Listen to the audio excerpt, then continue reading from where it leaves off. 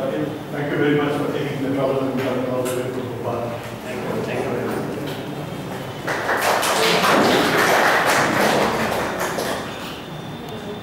Welcome.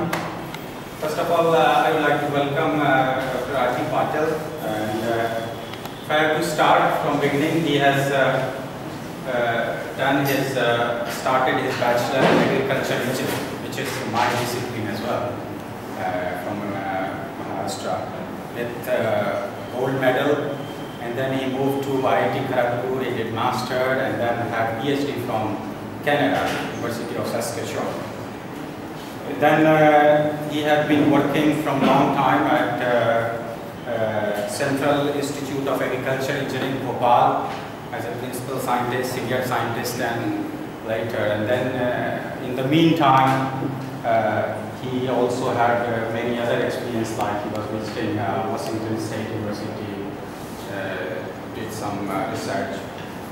Then later he joined as a director of one of the institute, uh, which is called Central Institute of Post-Harvest uh, Engineering and Technology, which is uh, one of the unique institute in India, coming under ICAR. Some of you might be familiar.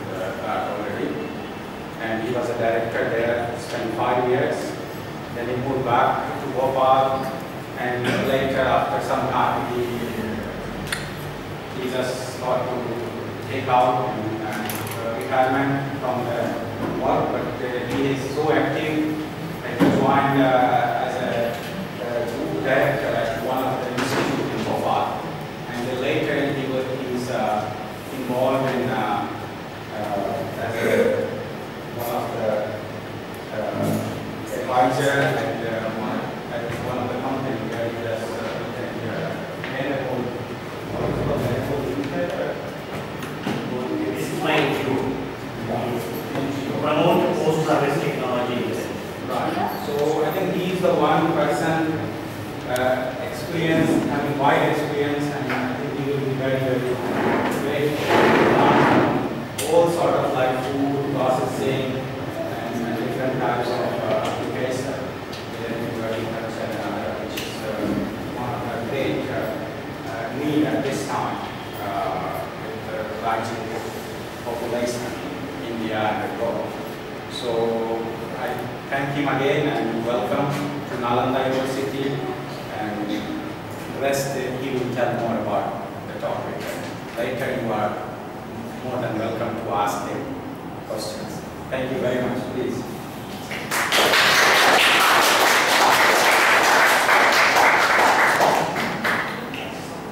Thank you very much, Dr. Prabhakar. I am really very glad to come to Nalanda because this is one of the ancient places which I wanted to visit. As soon as we think about Nalanda, it comes back to us that uh, he showed me that 2,000 uh, faculty members, 10,000 students, and long time back this university was very active. So when I looked at the people around, that what kind of faculty you have, what kind of courses you have, I thought it is really difficult to mold my lecture into suiting to your demand. But I am trying to do that. For example, when you look at India as a country, and if you compare that with the developed countries like North Americans and European countries, in agriculture, we are really blessed because we have very less land, 142 million tons, compared to the vast land which those people have got. But if you look at the kind of weather they have, environment they have, for six months they are covered under the snow. So that means they take only one crop. And if you, if look at those crops, very few crops they can take, which can be mechanized or they could be farmed on the very large areas like cereals, like soybean, wheat, maize, jawar and things like that. Whereas if you look at the Indian agriculture, we take three to four crops in a year. And our from those four seasons or four crops, it is almost surplus than what we need. If you look at the FAO statistics, that what is the population of this country compared to the world? we have 15% of the human population of the world. And we have 17% of the animal population of the world. If you look at the few statistics, we grow almost more than 20% of these crops, which are fruits and vegetables. If you ask anybody in the world, what is the high value food? What is the best quality food? Everybody will tell you that the fruits and vegetables are the best quality. Because the cereals, it is something like your fuel, and fruits and vegetables, they provide you with the vitamins and minerals, which are readily available to your body for absorption. Of course, when they do not get them, they go for multivitamin tablets and uh, they try to compensate for that. But when you take the tablet of the vitamins and minerals, you cannot absorb, our body cannot absorb it properly. Most of the time it goes out. And that is why it is not available to the body. But Whereas the fruits and vegetables as such if they are consumed, they give you the vitamins and minerals in plenty. Yesterday, I was uh, in Delhi discussing with the USAID for removing malnutrition in the people of this country. And it was really surprising that why this country should have malnutrition problem. When you grow so much, when you have such a wonderful fruits and vegetables available to you, and then uh, you have plenty of other things as well, have malnutrition. And you have malnutrition more in this country in the urban areas than in the rural areas. The concern in front of India today is India is growing. India is no more poor, that's what those Americans told me. We treat India as a wealthy country because you have very fastest growing middle class with lot of income at their hand. And unfortunately when we see, they are. Can you believe that? So what is the nourishment and what is malnourishment? If you look at the food what we consume, we need to have five components in that food. Protein, carbohydrate, fat, vitamins and minerals. When you consider protein, carbohydrate and fat, they are something like the bodybuilders. They are essential nutrients for our body.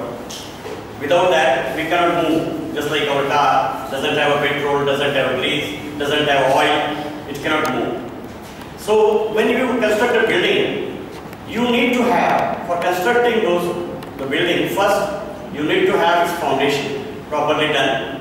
You need to have bricks, you need to have steel, you need to have cement and all those things. Once that is done, then what is required to make it attractive and make it usable for longer time is the proper plaster and paint. So all these five components, they are something like analogous to what we construct as a building. So for having good foundation and good strength of the building, first three components, protein, carbohydrate and fats, they are very much important. Then plaster and paint that is done by vitamins and minerals. Because keeping body healthy is the major job of these first three components and later on these two components. And this protein and uh, when we look at the vitamins and minerals, why we compare that as plaster and paint? Because that can easily be seen. If something happens to the building plaster or building color, anybody can point it out to you. See, this has happened. You just do something to that. But they may not know what is happening inside the building. Same thing happens to us. What is happening is when you have deficiency of the vitamins or if you have the deficiency of minerals, your body immediately expresses. You have maybe uh, cold, which is lasting for a long time, means there is something deficient. You may have something, maybe the dandruff is also something like that, some deficiency. You find in the children eating something which is unnatural, that means they have some deficiency. And the body expresses all those things. And then we try to supplement them. But if we take good quality food with enough fruits and vegetables, we won't need to take any supplement from outside. And also for the protein, carbohydrate and fat, this balance should never be disturbed. There is a thumb rule. Whatever calories you require from food to your body, there may be 2000 calories or 2500 calories. The proportion of those calories should be in such a way that 65% of that energy should come from cereals. 15% of that energy should come from proteins and 20% of that energy should come from fat. Once this balance is achieved, then you won't have any problem for healthy living. But exactly what happens? That if you are poor, you eat lot of carbohydrate because cereals are cheap. So you have that uh, bread and along with that you can have pickle or you can have something or very uh, not a very good vegetable, very watery vegetable, still you can survive. That is what happens to the poor. Those who are rich, they reduce carbohydrate to the extent that they take more of the fat and more of the protein. And that another problem it creates. So malnutrition happens when you disturb this balance. Among this, the protein is the most important thing. Because protein is a bodybuilder, protein gives you stamina, protein is required for everybody. So if you are growing children, they require more. If you are adult, still you require because in your body, it is so dynamic. So there are many cells are getting produced every day and many done. dead cells are going out. So for example, when we cut our hair, that is nothing but the protein part which we cut. When we cut our nails, that is the protein part what we cut. So that means the protein, just like carbohydrate and fat, of course it is required, but protein is very much required. And there is a thumb rule. How much protein we should take?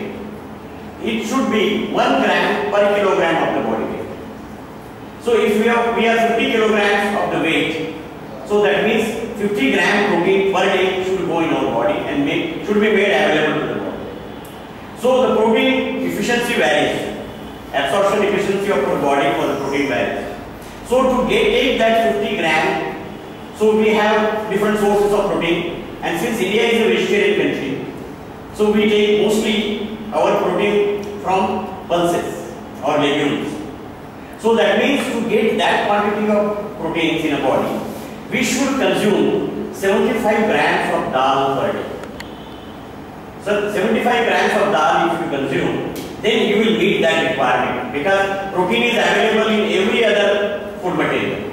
Cereals, wheat, rice, they have about 10%. Your milk also has got a little bit of the protein. But major protein source is pulses, but there also it is only 25%.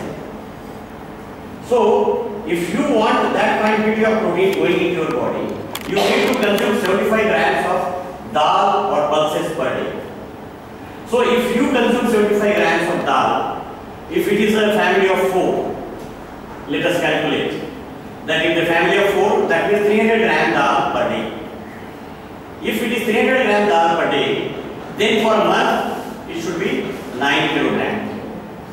So we are no more farming and we are no more farmers. So whatever dal we consume, it is purchased from the market. So every month statistics is available with us. Whatever you purchase, that much only you consume. So if you look at and if you ask anybody, they might be purchasing 4 to 5 kilograms of dal per, per month. So that means the deficiency of that 5 kilogram per month, right from the beginning, that is killing us slowly, slowly and slowly. And that is why the diseases, lifestyle diseases, what is that lifestyle disease? Why it has come? It has come just because our lifestyle has changed and our food habits have changed. So because we are not eating sufficient protein, so from the protein, other body functions which are taking place because of the protein, and also phytochemicals which go along with the protein, which are required for not having those lifestyle diseases, they are not available. And that is why the diseases which we were getting at the age of 70 years, now we are getting at the age of 40. Diabetes is a big problem. Heart attacks are very common. Cardiovascular diseases, cholesterol high, that is another problem. Blood pressure is another problem. And this is all because we are not eating sufficient protein.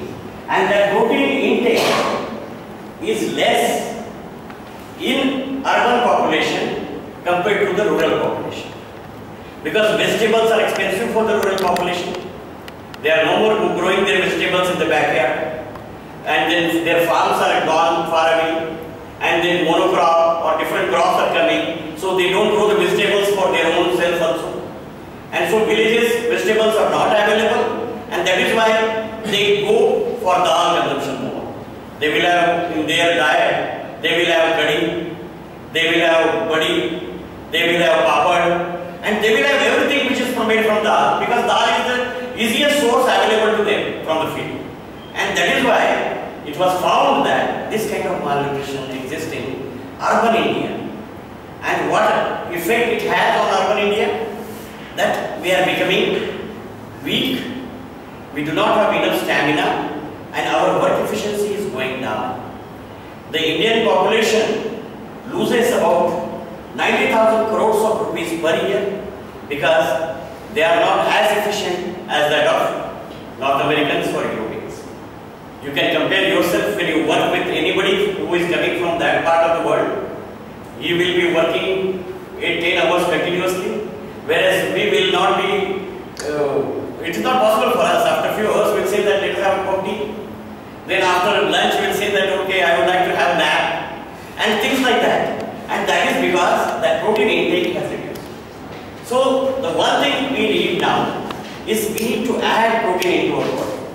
So we need to have source which will be having higher protein compared to dal and we need not consume it in that quantity. Because otherwise, even to consume 75 kilograms grams of dal per day, it will not be possible, we cannot digest it.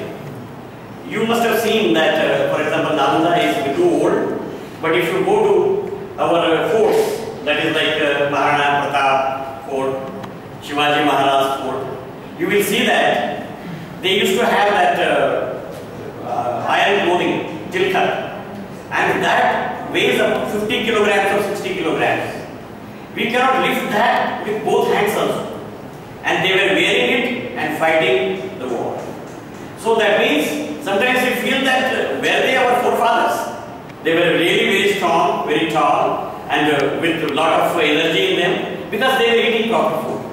And the God has given us this food, but we, we ourselves have made that imbalance. So this is what ecological imbalance or uh, what you call the environmental imbalance and something like that. We have that food imbalance when we consume. We should be very typical or particular about what we eat. Unfortunately, we are very different people. Maybe because the God has given us plenty, so we are the spoiled children of the God in this part of the world. That is why we don't care about the cleanliness. Cleanliness is next to godliness. So that's what I always say that because we are not clean and America is clean, the God has not America. Similar uh, kind of thing for here also. So we have to take care of that food and we have to be particular that what we eat. But we are made such, in such a way that we have to change. For example, what we do, how, how careless we are about our food, that will reflect from this another example which I am giving. We like to buy a car. In fact, we don't need a car. Public transport is so good in this country. It comes very frequently, not like US that you have to wait for one hour. And uh, only 10, 15 people are sitting in that, so that's why it expensive for the government. And it is expensive for you have to pay $2 for the short distance. And that is why you, you need to have your own car. But here, you don't need a car, but still you buy a car because your neighbor has purchased a car. Okay? He has a car in front of his house, so why why should not I have? Then we spend money, 7 lakhs, 8 lakhs. And if you look at the cost of buying that car and maintaining that car, it is more than if we hire a taxi for 4 times in a month. And that is what generally we require. But when we buy a car, you must have observed that we are very particular for its maintenance when the free services are happening. As soon as the free services are over, we don't repair our car unless it breaks down, unless it is punctured, unless the battery goes down, unless this thing. We don't completely maintain our car. And that is what is lacking in Indian population. That for our machines, for our equipment, for our car and for our body,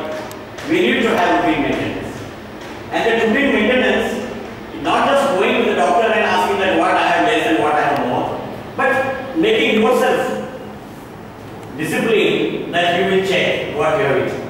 I very much like that uh, generally Westerners they do that. I have many friends at the end of the day they will do the calculations, I did not eat this, so let me eat one apple.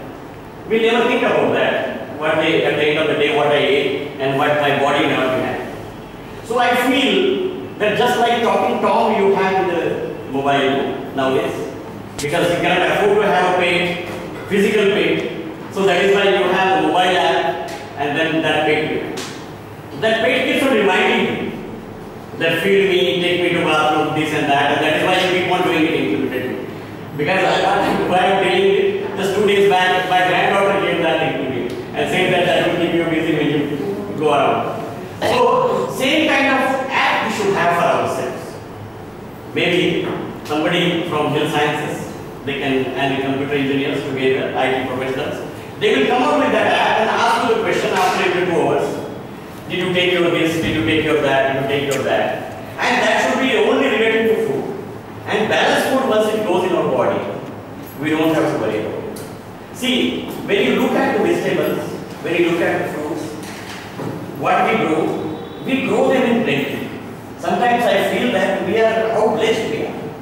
You look at the kind of fruits you have in US and Europe, hardly you can count them on the 5 10 type of fruits there. You have the fruits which people have not seen also. Name the fruit we grow it here. Who has seen Ramphal? Who has seen Sitafal? And all those, Kathal, this and that, and uh, what you call kokum, and all those different types of fruits which what we have. We have variety available. That is why when I was in US, I used to tease my friends. I used to tell them that what variety do you have? You don't have any variety. How many colors you have? Two colors. One is black and one is white. Look at our shades. Can you get them those shapes even in the millions of years? You cannot. Same thing for the crops. You have four five crops and we have plenty of these crops. And a lot of wealth is available and that is why why the international scholars would like to come and study here because they would see agriculture only for few crops there. But whereas here they will see the agriculture for almost different crops because every crop is very special. Suppose if you take the bear, eh, Shabri bear, that's very simple fruit we have. It comes in plenty when season is there and we just eat it for 10 days and then thereafter forget about it. And almost lot of quantity of that fruit is lost. And it happens in almost all fruits and vegetables in this country. Though we have plenty, we lose plenty, we waste plenty. And once you take them, and if you look at the nutrients available in them, you will find that they are full of nutrients. If you consume them, then you don't need to have those WHO assisted vitamin A deficiency supplementing tablets to be taken. And this is really unfortunate for this country, which grows such a wonderful crops full of nutrients. Why it should have? The simple reason is we are uh, very uh, that is we don't care about ourselves. Suppose in this I always this is my very pet question when I go for the talk. Generally, I talk in front of food processing people, food processing entrepreneurs, horticulturists, horticulturists, farmers, horticulturists, processors, packagers, and like that. So I ask them that this huge loss of fruits and vegetables which is taking in our country, it can be reduced if you consume one fruit a day. And seasonal fruit for that matter, not very expensive fruit. In every season you get some fruit which comes very cheap. Guava when it comes to the season it is 5 rupees a kilogram. Bear when it comes it is 5 rupees a kilogram. And any fruit of that region when it comes, for example citrus, it will be 5 rupees a kilogram when it comes in that region where it is grown.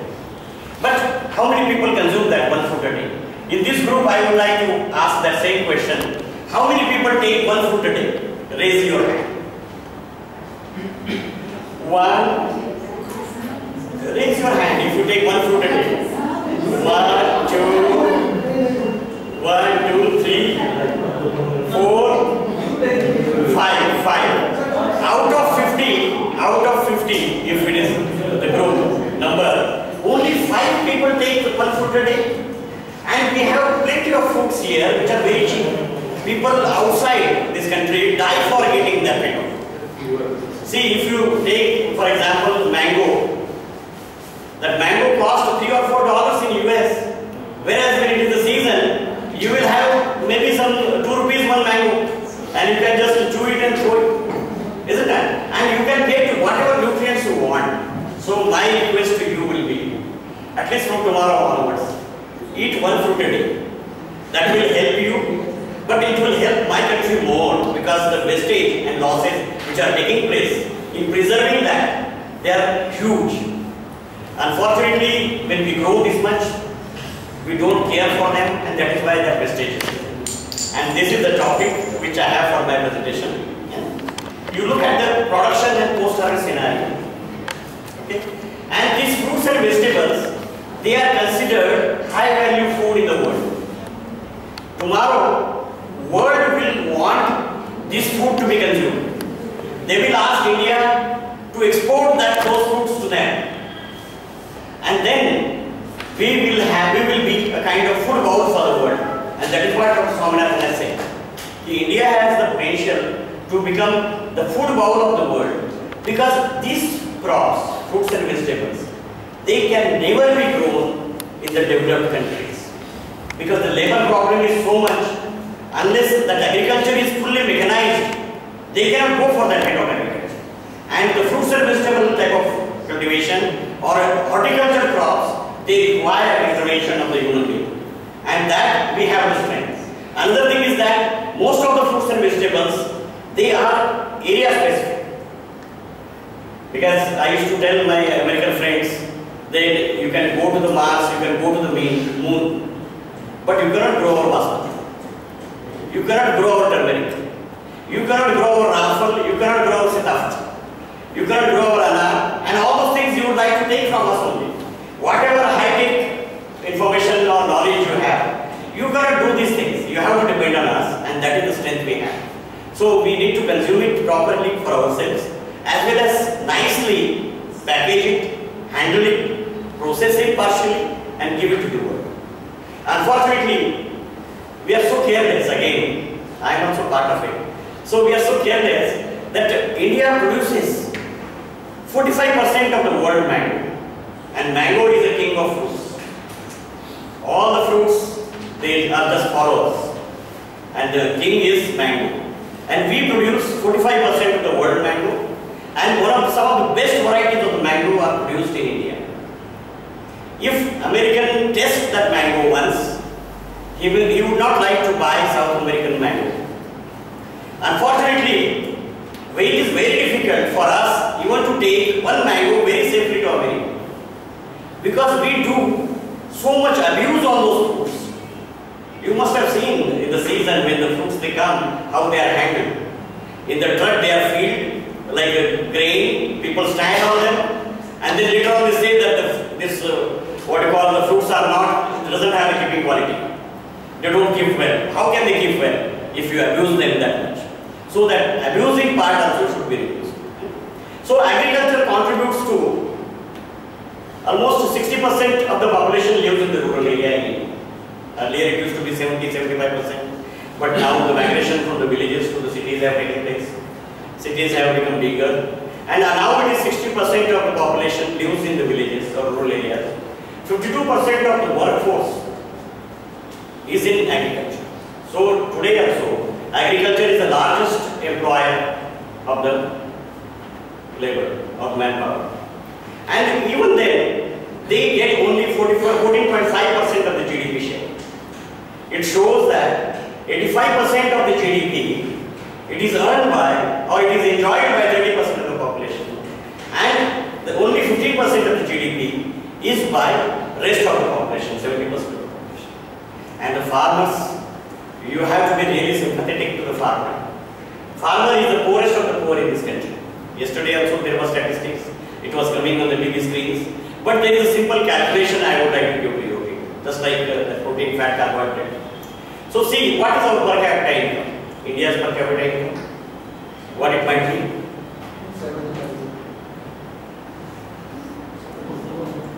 Dollars, in dollars, it is 750 to 800 dollars per capita income of Indians. Uh, it is sometimes it is thousand, maybe maybe thousand dollars. So if it is family of four should have $3,200 earned in a year, right? And this $3,200, how much they make it to rupee? So about 2.5 lakh of rupees, 2.5 lakh, 250,000 rupees. And India has got 85% farmers which are very small farmers or marginal farmers, having less than one hectare of land. And one hectare of land and less doesn't produce that much money. So that means in the vil- in the towns, those who do the menial jobs like uh, ta- uh, taxi, rickshaw, taxi, or cafe, tagawala, and the laborers, they earn more than the farmer. And why the farmer's position is like that? Because the farmer has remained as a raw material producer. So he is something like the labor who works in the mine. He has owns the mine, he works in the mine, he takes out the gold ore from there, and then someone else processes it, makes the jewel, jewelry out of it, and gets the big share of the profit. So the farmer should be getting that profit. Fortunately, 200 or 300 years back, before the British came to this country, we had a wonderful system. In each village, we had almost each industry to process our own produce. Dal used to get made in the village. Milk was converted to dahi and the ghee was made into the village. Then many of the things, vegetables, they were dried and sold in the cities, either fresh as well as dried. Most of these commodities, what we call them papad, vadi, they were made in the village and sold it. And that time, the quality of food was wonderful. Because today the world is concerned with the traceability. The food safety is the greatest concern. Like I was discussing uh, with my German friend, that uh, processed food, people are really worried about it now, what it might be containing. To keep it for six months, what they might be adding. And when they extract something, what they might be forgetting to extract. Because when you extract something, then something valuable is remains there. So byproducts of that processing industry, they are very valuable if they are properly processed and used. When this was being done in the villages, all the byproducts were available for as animal feed or further value addition. And that was our strength. But somehow it was broken. And today, we, even farmers, he purchases dal, farmer, he purchases almost many things which he grows as a raw material and as a end produce, he purchases from outside. So, India ranked second in the world in production of fruits and vegetables.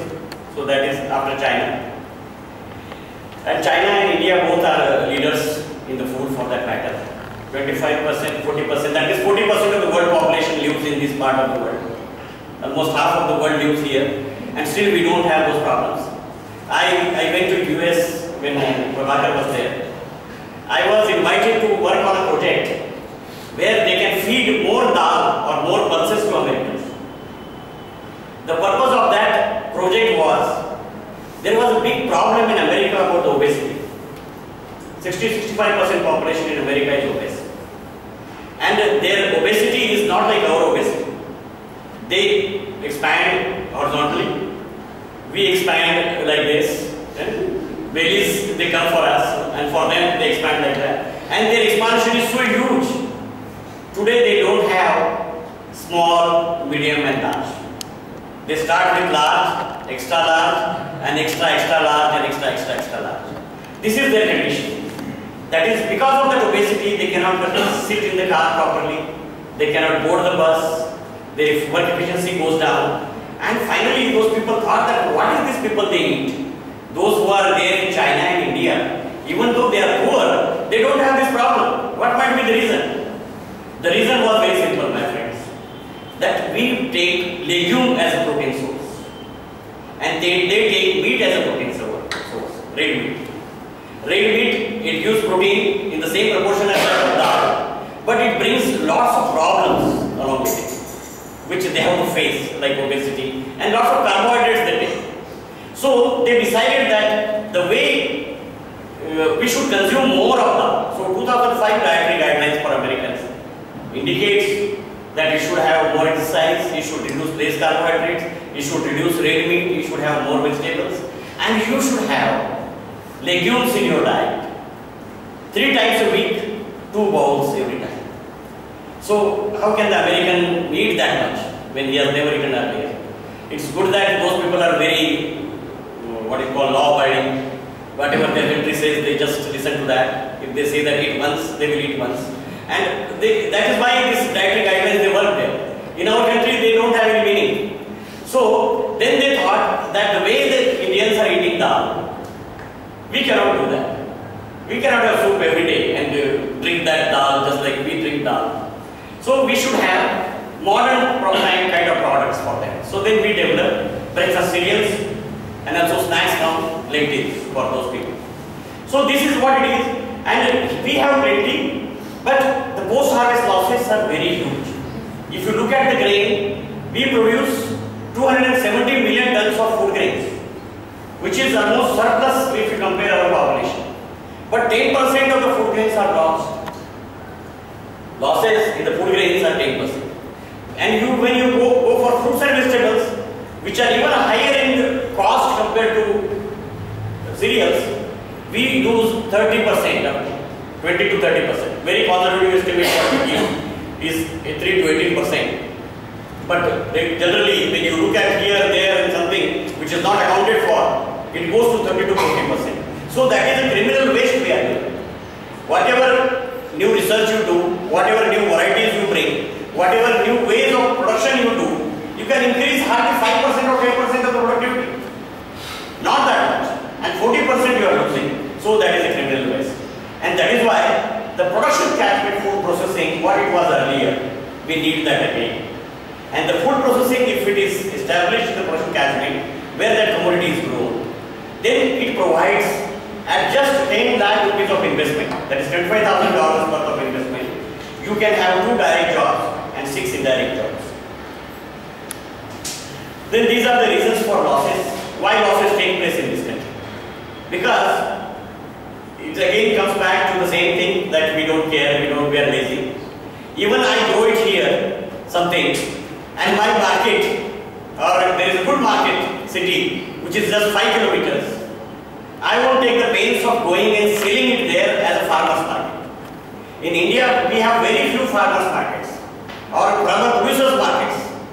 Whereas if you go to the western countries, you will have almost in small towns also, the farmers markets. Then why not we should have? As you reduce the chain, supply chain, you reduce the length of it, you will have the better price for the farmer and there will be less of the losses. Because when these middlemen they come in for selling the farmer's produce, they don't care for the losses. And because they are worried only about the profits. And they know that the commodity, if it is less in the market, they will have more profit. One hypothetical story I will tell you, which is from Punjab, where I was the lecturer. And uh, there, in a farm, there are a lot of tomatoes were grown. Then a trader was taking those tomatoes and he was taking it at the rate of 3 rupees a kilogram from farmers. And he used to fill the truck, just like you fill the grain. Full truck full of tomatoes and he will take that truck to Delhi, Azadpur Mandi and sell it there. Then somebody told him, what is that you are doing? 350 kilometers? What might be happening to these tomatoes? Maybe 30% to 40% might be getting crushed. Why don't you use those crates now? Plastic crates are in the market. Beautiful crates, you put the tomatoes, you put one or other and take them to Delhi. Then he said, why should I do that? I take 3 rupees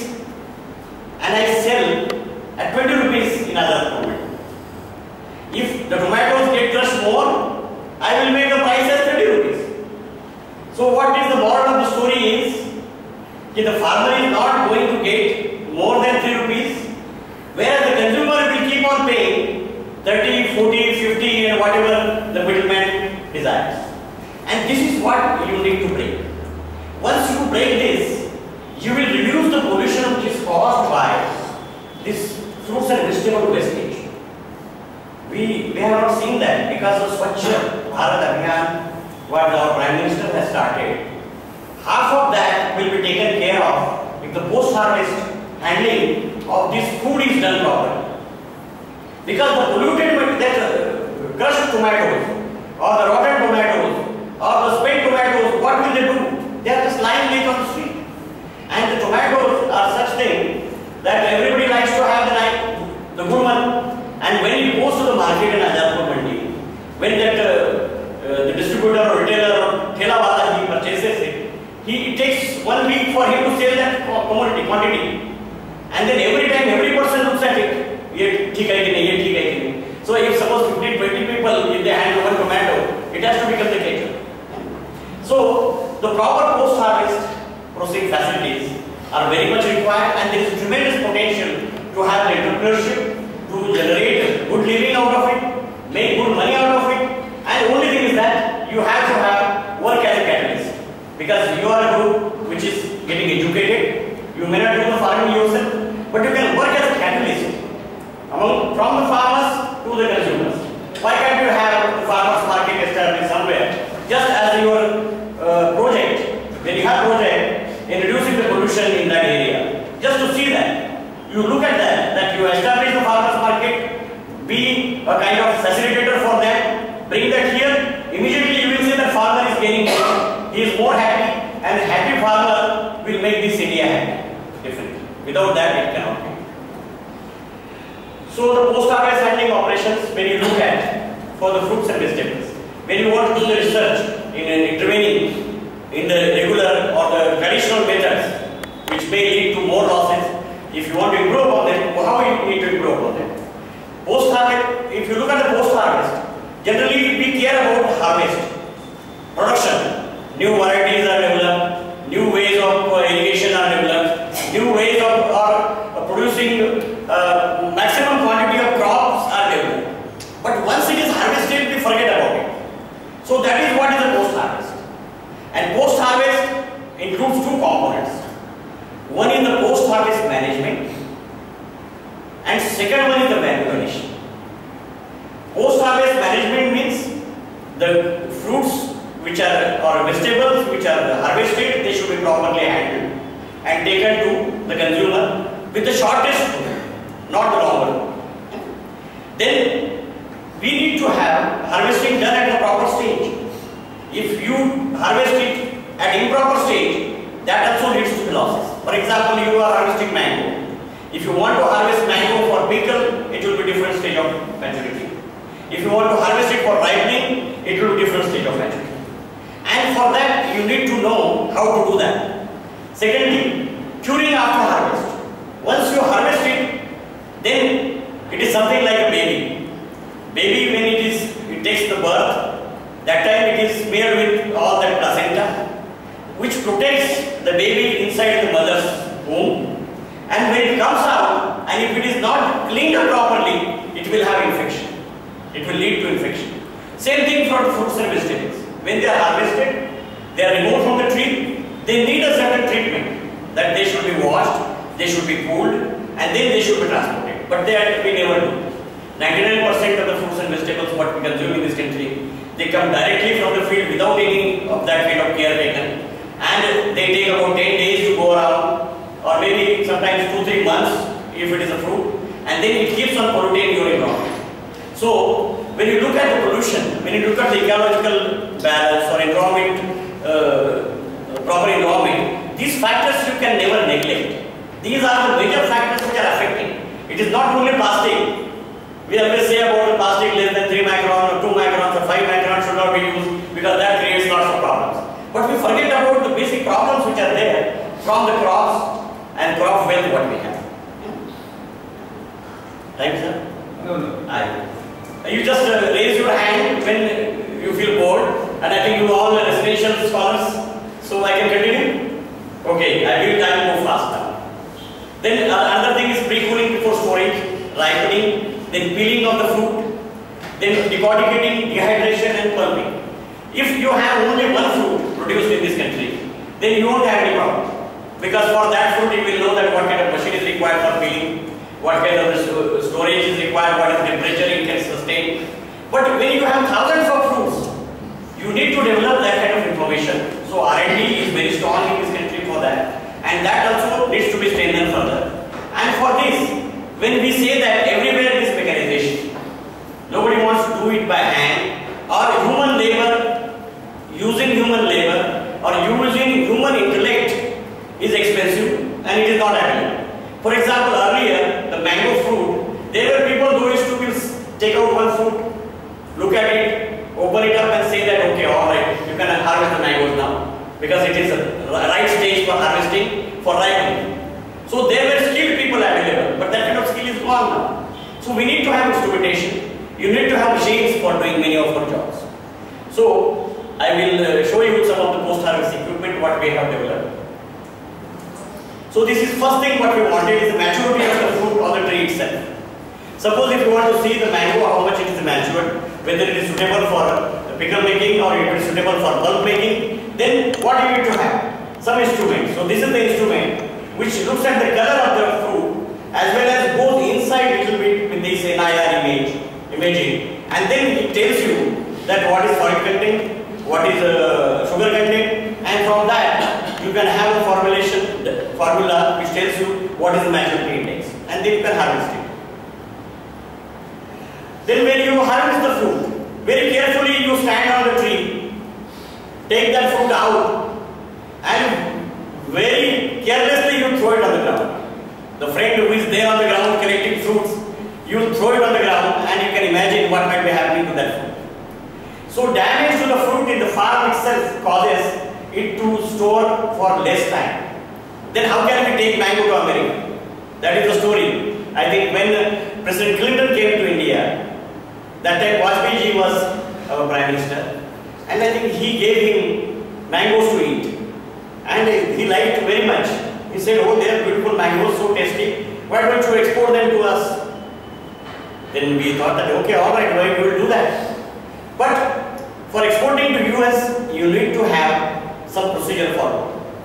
And our own peoples were so lazy, यार क्या करें थोड़ा सा export करेंगे अपने यहीं अठारह सौ रुपए डजन दाम मिलता है लेकिन in India if you look at the television screens today or yesterday the mangoes they cost 1200 to 1800 rupees per dozen. 12 mangoes costing so much. Then they say that what is that in India? We are getting that much money and why should we go to America? So because a lot of work has to be done. So finally what happened? For six months there was no response. They kept on writing later that you were going to send us some mangoes. What happened? What happened? And this somehow or other they kept on delaying it. Then finally a team from USAID came here, sat on their head and said that no way, it is our president wanted it and we have to do it. Then they went with those people to the farms, identified the orchards, identified the trees and identified the way they are maintained, the trees are maintained. Then afterwards the fruits were properly harvested. They established a packaging unit there. They established hot water treatment plant for the washing the mangoes, irradiation facility for the mangoes, proper packaging and mangoes, and few, maybe few tons of mangoes were exported. And everybody in the country then start taking the credit that yes, see, we exported the mangoes to US. But is it the big thing? 50-45% of the world's mango this country produces, and you cannot handle it that properly and send it to the people, those who are willing to pay the price for that, whatever you want. So this is the lazy country and that is why that kind of thing happens. So CIPHET the tomato grader. Now this another thing is that for tomatoes, if you take them to the market as such, the, the fellow who buys or purchases those tomatoes, he will always pick up the small one and say that is the price now. But if you grade it, the farmer can get a better price. So this is a simple grader we have developed. Then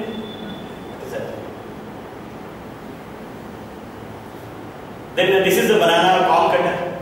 Because this simple instrument, it is intervention and because of that when you cut the hands, we reduce 6 to 8% of the banana damage. So that itself is a big thing because if you look at the quantity, hundreds and thousands of tons that we produce. Then this is a mechanical pomegranate aril extractor. When we have a pomegranate, it is a wonderful fruit. You say that one apple keeps a doctor away, an apple a day keeps doctor away. But if you have one anar, you can treat sau bimar, ek anar sau bimar.